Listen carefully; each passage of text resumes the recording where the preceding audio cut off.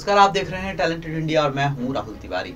नया साल यानी जनवरी आ चुका है और सभी लोगों ने नए साल का जश्न धूमधाम के साथ मनाया। लेकिन इस जश्न के खत्म होने के तुरंत बाद तैयारियाँ शुरू हो चली हैं भारत के गणतंत्र दिवस की, गणतंत्र दिवस, यानी वह दिन जब भारत का संविधान लागू हुआ था, जब नागरिक अपने अधिकारों के प्रति पूरी तरह से उनके हकदार हुए थे और वह दिन जब हम हमारे संविधान की प्राप्ति का जश्न धूमधाम से मनाते हैं। क्या होता है इस दिन? इस दिन वैसे तो कई सारे आयोजन होते हैं। देश प्रेम की एक अलग, अनूठी मिसाल पेश की जाती है। लेकिन इसके साथ ही सरकार और सरकार से जुड़े विभाग अपनी विभिन्न योजनाओं को जनता के सामने पेश करती हैं। ऐसी योजनाएँ जो लोगों के लिए हितकारी है, लोगों के लिए उपयोगी है और लोगों को इनके बारे में जानना ज़रूरी होता है। उन योजनाओं को सरकार के उन कामों को हम 26 जनवरी के परेड में झांकी के रूप में ज़रूर देखते हैं। सरकार इन झांकियों के माध्यम से एक गहरा संदेश भी देती है। लेकिन इस बार 26 जनवरी की परेड में शामिल होने वाली इन झांकियों को लेकर एक विवाद शुरू हो गया है। विवाद इस बात का कि वे सरकारें जो भाजपा की नहीं है, या ऐसे प्रदेश जहाँ पर भाजपा की सरकार नहीं है, उन्होंने आरोप लगाया है कि केंद्र सरकार ने 26 जनवरी की परेड में उनकी झांकियों को शामिल नहीं किया। कारण एक ही दिया जा रहा है कि इसके पीछे राजनीतिक अदावत है, जिसे अब केंद्र सरकार खुलकर ज़ाहिर कर रही है।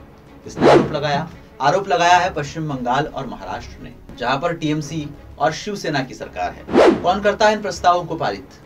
दरअसल, जो भी झांकी 26 जनवरी की परेड में शामिल होनी है, उसके लिए रक्षा मंत्रालय सभी प्रदेशों से आवेदन मंगवाता है। ये आवेदन एक या एक से ज़्यादा भी हो सकते हैं। इस बार क्या हुआ, सभी राज्यों ने आवेदन तो दिए, लेकिन इन आवेदनों में से महाराष्ट्र का आवेदन एक तारीख को और दो जनवरी को पश्चिम बंगाल का आवेदन खारिज कर दिया गया।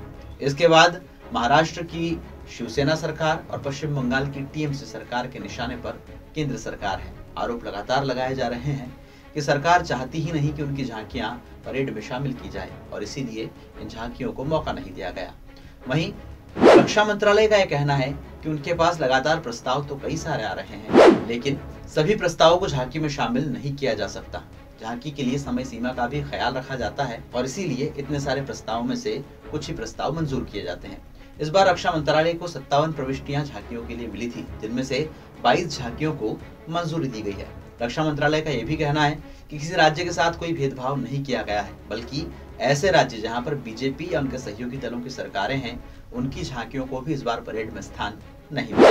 इन राज्यों में महाराष्ट्र, बंगाल, केरल, दिल्ली, बिहार, हरियाणा, उत्तराखंड, त्रिपुरा, अरुणाचल प्रदेश शामिल हैं। इन नौ राज्यों में से चार राज्यों में गैर बीजेपी की सरकार है, जबकि पाँच राज्यों में बीजेपी या उनके सहयोगी दलों की भी सरकारें हैं। लेकिन बावजूद इसके, इन सभी को इस बार गणतंत्र दिवस की परेड में झांकियाँ शामिल करने का मौका नहीं मिलेगा। अब उस विषय पर चर्चा करते हैं, जिस विषय के साथ इन सरकारों ने अपनी प्रविष्टियाँ केंद्र सरकार को भेजी थी। महाराष्ट्र सरकार ने इस बार चार झांकियों के प्रस्ताव केंद्र को भेजे थे। इन झांकियों में महाराष्ट्र में थिएटर की 175 सालों का सफ़र, दूसरा विषय था नौसैनिक बेड़े की 350वीं वर्षगांठ, जिसे मराठा शासक कन्होजी अंगरे ने शुरू किया था। तीसरा प्रस्ताव था पारंपरिक वेशभूषा का, जो महाराष्ट्र का प्रतीक है, और आखिरी प्रस्ताव था गीत रामायण का।